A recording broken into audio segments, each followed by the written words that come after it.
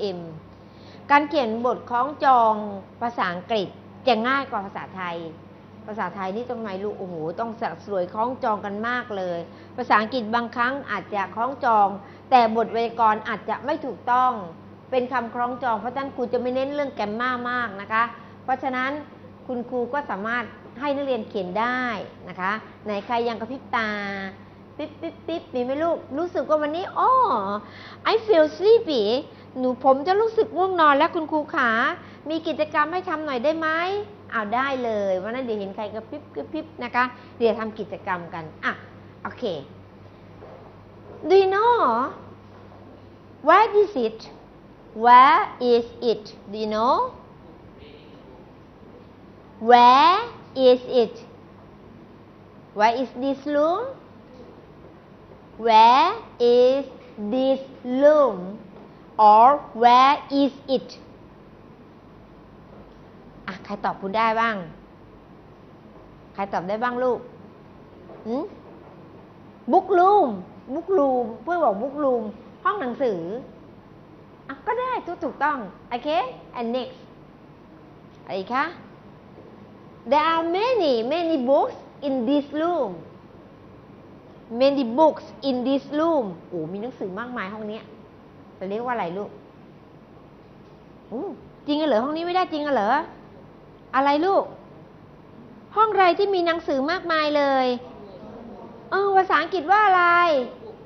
อะไรลูก อะไรนะ ดังๆลูกฮะห้องอะไร นั่นเลยบอกห้องสมุด ห้องสมุดภาษาอังกฤษว่าอะไร โอ้น่ารักมาห้องสองหรือคุณครูจะไปบอกคุณครูเฉลี่ยห้องสองตอบไม่ได้สักคนหนึ่งฮะห้องอะไรลูกใครได้ ใครได้ห้องนี้ ห้องสมุดภาษาอังกฤษว่าอะไร L live อะไร อะไรลูกกี้ใครตอบแป๊บๆเลย อะไรลูกหืมอะไรลูก เงียบหืม อะไรนะลูก โอ้ย living room มันห้องนั่งเล่นแล้วจะที่รักจ๋าโอ้ย library again library library เคยเข้าห้องสมุดไหม โอ้ แล้วทำไมไม่รู้ห้องสมุดภาษาอังกฤษว่าอย่างไร คุณครูอายนักเรียนปลายทางและ วันนี้นักเรียนปลายทางหัวเราะย้อนนักเรียนต้นทางแล้ว ไม่รู้จัก library ห้องสมุด อะพร้อมกันห้องสมุดภาษาอังกฤษว่าอะไรคะ อ่าบอกสิวันนี้ฉันไปอ่านหนังสือในห้องสมุดบอกไงคะ I read the books in the library again อีกครั้งหนึ่ง I read the books in the library เวลาเข้าเป็นห้องสมุดนักเรียนต้องทำไมลูกเงียบไหมส่งเสียงดังได้ไหมลูก ไม่ได้เอาละค่ะ คุณครูจะเขียนไว้ว่า be quiet be quiet again be be ตัวนี้ย่อมาจากคำว่าอะไรลูก is am are โอเค uh, you are quiet you are quiet I am quiet he is quiet she is quiet quiet แปลว่า เงียบ เวลาอ่านออกเสียง quiet again quiet quiet quiet Quiet โอเค อะ บอกที่ฉันเงียบบอกไงคะ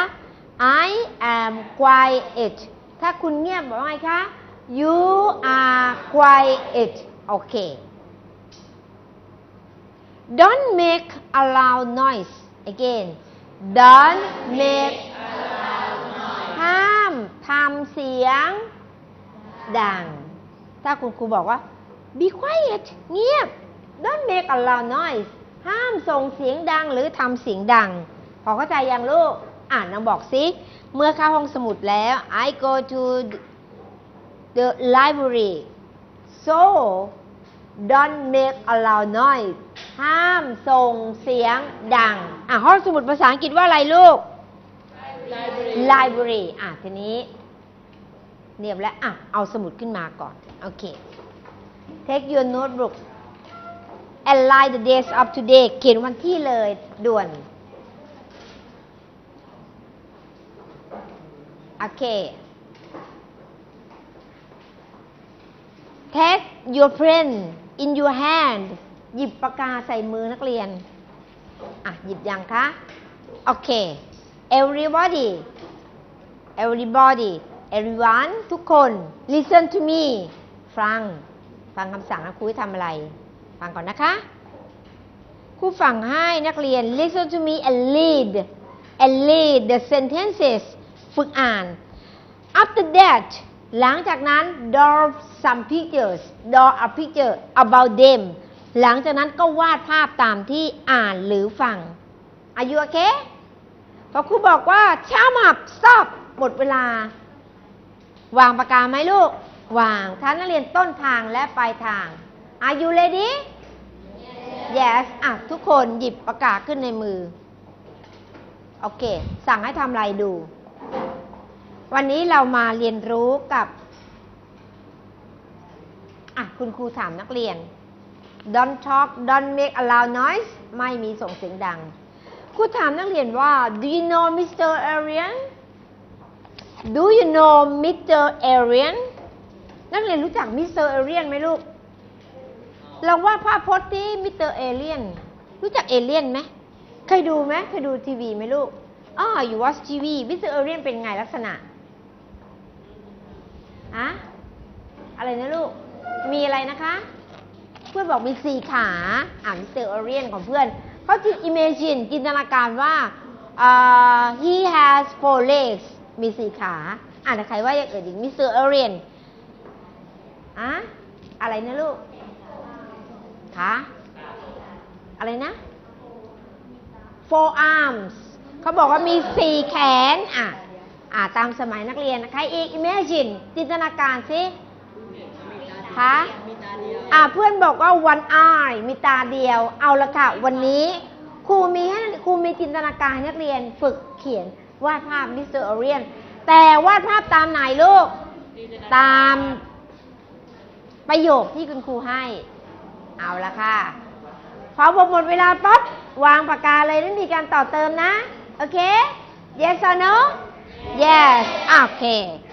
เรามารู้จัก Mr. Alien กัน Who is Mr. Alien ใครคือ Mr. Alien เดี๋ยวเรามาดูกัน เอาค่ะ มาดูคำสั่ง Let's draw Mr. Alien together เดี๋ยวเรามาฝึก วาด Mr. Alien ด้วยกัน ดีไหมคะ อะ ดีนะคะ การฝึกวาดนักเรียนก็ทำไมลูก listen ฟังคุณครูก่อน read แล้วก็อ่าน and draw อ่านไปด้วยแล้วก็วาดไปด้วยเลย Are you ready yes okay ประโยคแรกให้เขียนนะคะ เขียนข้างหน้าเลยว่าผมคือใคร อ้าว เขียนว่า I am Mr. Arian เขียนตรงนี้คำเดียว เขียนคำเดียว I am Mr. Arian ผมคือ Mr. Arian จะบอกว่าฉันได้ถามว่าดิฉันได้ไหมลูก ได้ไหมลูกทำไมไม่ได้อะ เพราะครูใช้คำว่า Mr. Mr. ต้องนำหน้าด้วยนายใช่ไหมลูก ผมคือนายเอเรียน I am Mr. Arian ผมคือนายเอเรียน เอาละทีนี้เอเรียนของนักเรียนเป็นอย่างไรนะ ตัวใหญ่ ๆ ไปเลยนะคะ พร้อมยัง เอเรียนนักเรียนเต็มหน้ากระดาษเลย ใครเหลือหน้าครึ่งก็เป็นครึ่ง ใครเหลือเต็มหน้ากระดาษก็เป็นหน้ากระดาษ ดูเอเรียนของนักเรียน อ้าว after that หลังจากนี้ไม่ต้องเขียนประโยค ให้ทำไมเลยลูก ให้ทำไรเลยคะ อ่า door door Mr. Arian วาดภาพเลย อะ โอเค quiet be quiet be quiet don't make a loud noise ตอนนี้ไม่มีการส่งเสียง ต่างคนต่างทำ Mr. Arian อะ มาดูอันแรกนักเรียนปลายทางด้วยนะคะ เขียนคำว่า I am Mr. Arian เอาละค่ะ อันแรก I have two heads you don't lie ไม่ต้องเขียนวาดเลย I have two heads เอาตีละขั้นตอนนะ อย่าเอาเลยฝั่งนี้นะว่าครูกล่าวถึงอะไรก็เอาว่าตรงนั้นอย่างเดียว I have two heads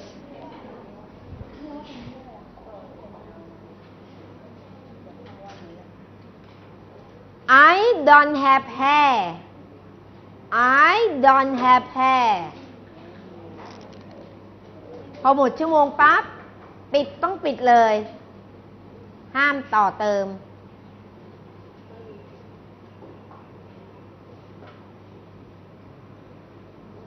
My faces are round. Do you know round? Do you know?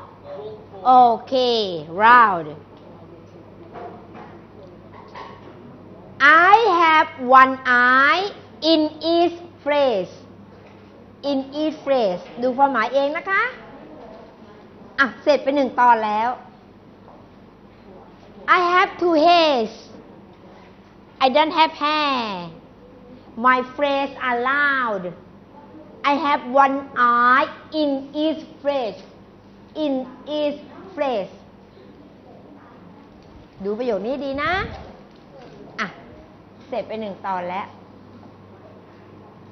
ถ้ารูปแบบเด็กนี้ไม่ต้องส่งคุณครู คุณครูบอกให้รูปทำไมลูก ใหญ่ไปเลย คุณครูยังไม่ได้กล่าวถึงคอถึงปูกถึงอะไรเลย ยังไม่ได้กล่าวถึงเลยคุณนี่กล่าวแค่มีอยู่กี่ตอนนักเรียนเติมครูเต็มถึงขาถึงแขนแล้วไม่ได้กล่าวเลย วันนี้กล่าวแค่อะไรอย่างเดียว I have two hairs I don't have hair My face are loud ยังไม่ได้กล่าวถึงจมูกปากอะไรเลย I have one eye in each face โอเค next ต่อไป next